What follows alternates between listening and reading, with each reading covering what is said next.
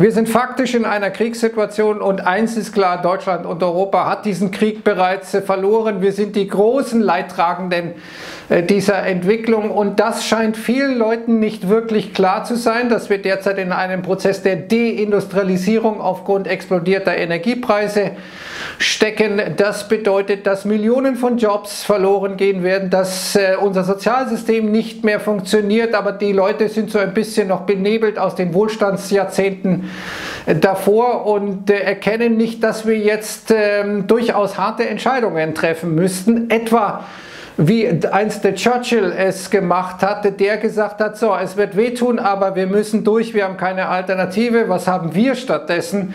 Einen Bürokraten wie Scholz, der an den Symptomen herumdoktert, statt die Ursachen zu bekämpfen. Und das ist das ganz große Problem unserer Zeit. Und ich weiß, es ist immer leicht, auf die Politik zu schimpfen und zu sagen, die machen alles falsch. Wer in der Verantwortung steht, der muss schwierige Entscheidungen treffen, suboptimale Entscheidungen treffen, Rücksicht nehmen in einer Demokratie. Alles klar. Aber dennoch ähm, werden wir jetzt äh, in ein massives Dilemma kommen, wenn wir weitermachen wie bisher, statt die ähm, wirklichen Ursachen anzugehen, immer nur die Symptome zu bekämpfen. Und genau das passiert derzeit sowohl in der Politik als auch bei den Notenbanken. Immer die Symptome bekämpft, immer versucht, möglichst den Schmerz irgendwie abzumildern. Statt eben zu sagen, okay, wenn wir Zukunftschancen erhalten wollen, dann müssen wir auch äh, Dinge tun, die eben wehtun, dann müssen wir die kreative Zerstörung, wie sie Schumpeter beschrieben hat, eben zulassen. Stattdessen züchten wir Zombie-Unternehmen, haben wir eine Zombifizierung unserer Wirtschaft. All das fällt noch nicht so richtig auf, weil wir eben aus einer gesunden Substanz kommen oder aus einer vergleichsweise gesunden Substanz. Die wird immer kleiner, diese Substanz, und irgendwann ist sie weg und dann fällt allen auf, ups, da ist was schiefgelaufen, aber dann ist es zu spät. Viele, viele Leute wie gesagt, äh, die ich äh, treffe, mit denen ich spreche, scheinen den Ernst der Lage nicht wirklich erkannt zu haben. Symptome statt Ursache, das ist etwas, was Daniel Stelter, der Ökonom, immer wieder auf den Punkt bringt. Die Ampel hat den Ernst der Lage nicht erkannt. Schön und gut, einen Gaspreisdeckel zu machen, okay, kann man machen. Das verzögert aber nur das Sterben vieler Firmen, verhindert es aber nicht. Die einzige Chance, die du jetzt hast, ist das Angebot an Energie auszuweiten, damit die Energiekosten nicht explodieren damit die Industrie hier und die Wirtschaft hier eine Zukunft hat, sonst gehen die woanders hin oder sie gehen pleite und der Staat übernimmt einfach die Rechnung. Der Staat sind auch wir.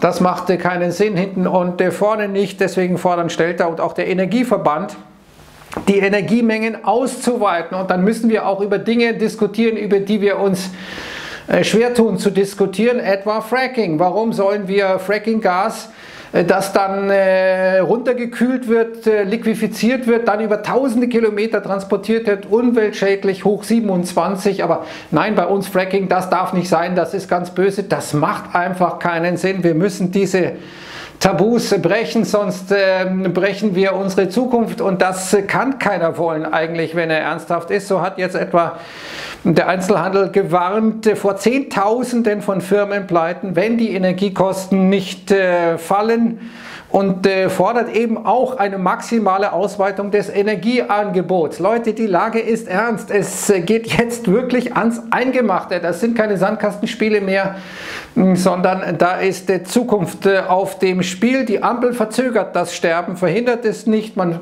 doktert an den Symptomen und äh, lässt die Ursachen so sein, wie sie sind. Und die Ursache ist zu wenig Energie, deswegen ist Energie teuer. Wir hätten diese Energie, wenn wir sie haben wollten. Wir wollen aber nicht, weil wir Tabus haben und sagen, das ist böse. Und äh, natürlich haben wir da ein Wirtschaftsministerium Leute sitzen, die das äh, jetzt ähm, vor sich sehen, was sie jahrelang wollten. Hauptsache keine Atomkraftwerke. CO2 ist äh, ganz, ganz schlimm. Und äh, am deutschen äh, Energiewesen wird die Welt genesen. Aber komischerweise haben wir die höchsten Strompreise weltweit. Da scheint etwas schief zu laufen, also scheint es mit den Erneuerbaren doch irgendwelche Probleme zu geben. Und jetzt fällt auch äh, etwa dem Ausland auf, dass wir jetzt eben mit diesen Maßnahmen mal eben 200 Milliarden Euro rauszutun, die nicht gegenfinanziert sind, jetzt schon auf einer Stufe mit den Briten sind. Truss macht ja auch äh, Geschenke äh, die letztendlich ja auch wieder latent inflationär sind, ohne sie gegen zu finanzieren. Und mein äh, viertbester Freund Marcello Fraccerino äh, sagt, ja, bemerkenswert, die Ampel stellt also mit 200 Milliarden 5% des BIPs zur Verfügung. Und die Renditen für deutsche Staatsanleihen verändern sich so gut wie gar nicht. Das zeigt, wir müssen uns keine Sorgen über die Tragfähigkeit der deutschen Staatsschulden machen, Marcella. Das ist ganz großes Kino. Also dieser Mann äh, fehlt uns gerade noch äh, an der Spitze. EZB-Chef wäre vielleicht das Allerbeste. Aber es zeigt natürlich, dass die Märkte noch auf diese Substanz vertrauen. Aber diese Substanz fressen wir jetzt Stück für Stück weg und irgendwann ist Substanz dann weg. Und dann steht der Kaiser nackt und ohne Kleider da. Und das ist äh, sozusagen ein Unfall in Zeitlupe, der derzeit passiert. Interessant übrigens, dass immer mehr Unternehmen aufgrund jetzt dieses Gasmangels auf Öl oder Kohle umstellen, etwa die äh, Großbrauerei Carlsberg in Dänemark die wissen, dass sie, wenn äh, es knapp wird, nicht systemrelevant sind. Die Leute müssen kein Bier saufen, nicht wahr? Und das heißt, die müssen sich jetzt umgucken, steigen auf Öl um. RWE sagt jetzt, wir werden drei Kohlekraftwerke wieder an den Start bringen. Da kann man den Grünen nur herzlich gratulieren. Lieber Kohle als Atomkraft, gell, weil die ist ja viel sauberer, gar keine Frage. Und äh, jetzt äh, ist natürlich die Situation auch so, dass man natürlich eine kontrollierte Panik schürt, wie damals in Corona-Zeiten. Man will die Leute zum Gas und zum Energiesparen auffordern. Das ist richtig, das verstehe ich auch. Aber äh, wenn ich auf der anderen Seite die Chancen liegen lasse, die ich selber habe, dann ist das natürlich eine sehr schwierige Geschichte, gerade wenn diese Geschichte so ideologisch aufgeladen ist wie bei Teilen der derzeitigen Regierung. Und dann sehen wir eben die Opfer Trinseo, eine Firma, die Plastik herstellt in Sachsen, eine ausländische Firma, nicht eine deutsche Firma, überlegt jetzt, äh, ob man hier die Produktion mal äh, dicht macht, weil es macht schlichtweg bei diesen Energiekosten keinen Sinn. Und jetzt kommen wir zur anderen Baustelle, unsere Notenbanken. Jetzt hat es auch die Eurozone geschafft, nach Deutschland 10% ähm, Inflation. Hurra, da kann man nur gratulieren. Hier sehen wir mal den Unterschied in einer Grafik von Hannes Zipfel zwischen der Inflation und den Leitzinsen und der Realrendite. Da ist etwas schiefgelaufen, da hat man lange gepennt. Übrigens in den Niederlanden haben wir eine Inflation äh, von 16 äh, Prozent. Das sind immense ähm, Zahlen, das ist äh, schon auf dem Weg äh, in eine wirkliche Hochinflation, aber so oder so, dadurch, dass die Notenbanken Geld ins System geschüttet hatten, Geld ins System geschüttet hatten, das ging alles gut, solange wir eine Globalisierung hatten, die tendenziell deflationär war. Jetzt haben wir eine Entglobalisierung, die latent inflationär ist. Und äh, man wollte Schmerz vermeiden, also Zinsen immer runter. Dadurch haben wir uns Zombie-Unternehmen ähm, praktisch gezüchtet. Hier sehen wir mal, wie deren Schuldenberg gestiegen ist von 2019 auf 2020 und unten sehen Sie eine Grafik der Deutschen Bank. Der Anteil der Zombie-Firmen in den USA fast ein Fünftel aller ne Unternehmen, also praktisch die, die ihre Kreditkosten nicht mal rein verdienen und dadurch, dass die Kreditkosten jetzt immer mehr steigen, aber wohl die Gewinne dieser Unternehmen nicht aufgrund der, des Kostendrucks, des Margendrucks, der Energiekosten etc. Äh, wird dieser Anteil der Zombifizierung der Wirtschaft immer größer.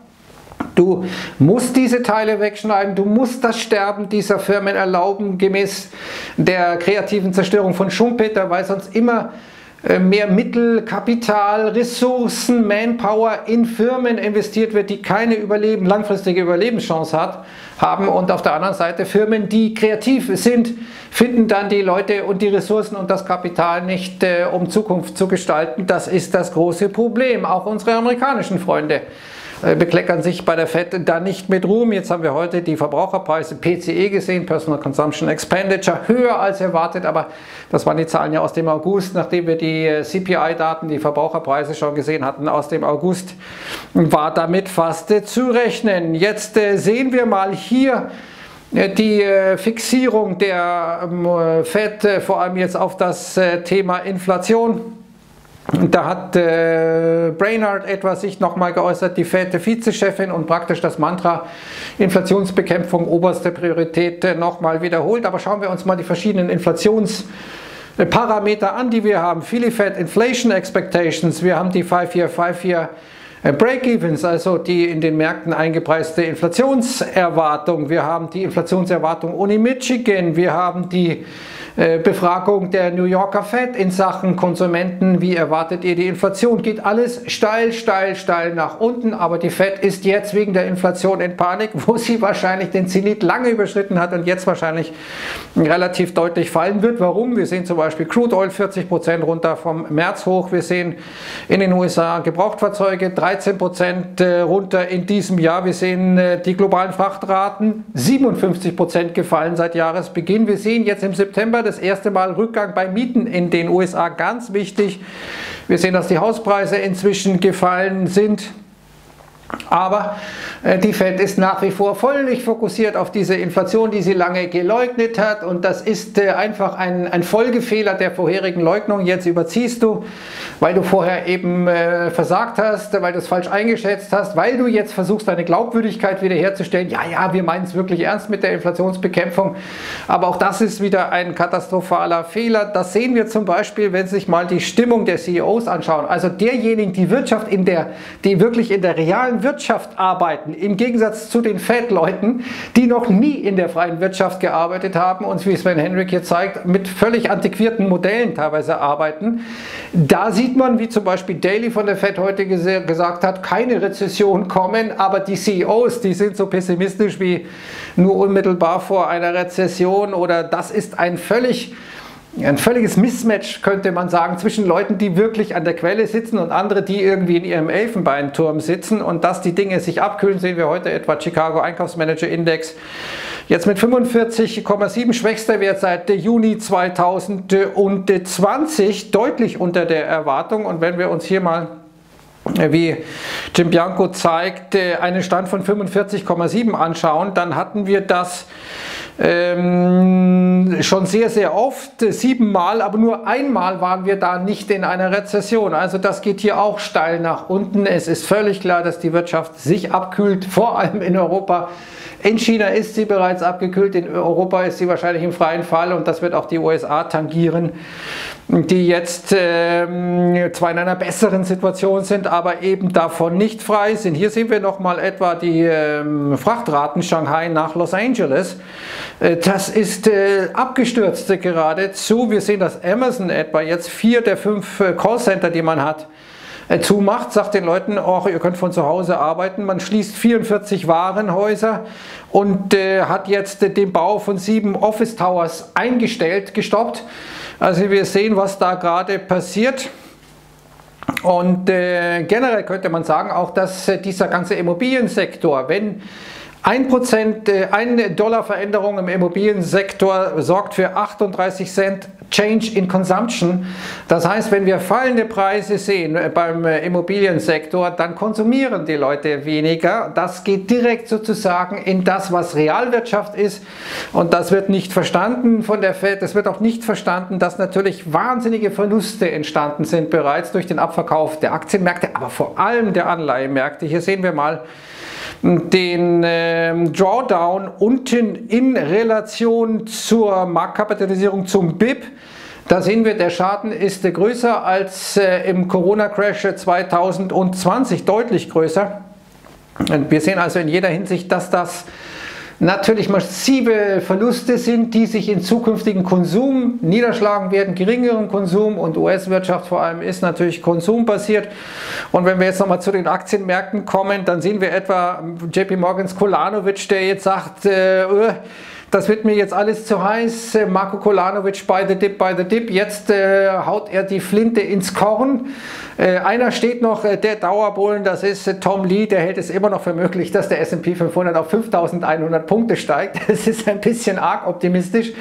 Selbst wenn man jetzt aufgrund der bärischen Sentimentsituation äh, sagt, da kann eine Gegenrallye passieren. Aber wir sehen eine Bullenkapitulation bereits aufgrund dem, was da passiert ist. Heute großes Thema natürlich die Ansprache von Putin, keine weitere Eskalation, kann man sagen, nach dem Schema Russland gut, Russland wird vom Westen immer unterdrückt, sie wollen, dass wir untergehen etc.